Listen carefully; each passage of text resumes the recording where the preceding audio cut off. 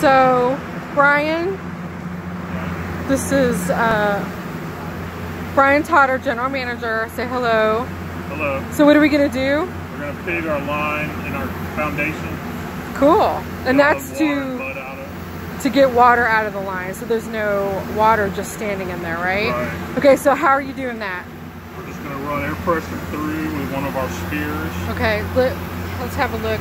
And you like did like a fancy thing there. Yeah, it's homemade. Okay, well, can you see like what the sphere looks like? There it is in there, hiding in the plastic. Okay, Yeah. cool. And then it's hooked up to an air hose, right? Right. The sphere's down in here.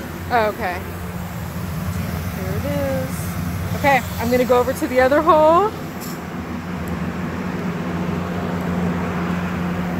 Okay. Where's it at? Okay, there it is. Woo!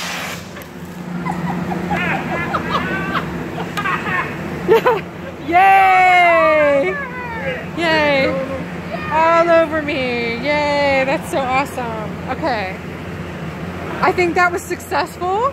Yes. Yes, would you say? Yes? Okay, good deal. Over and out.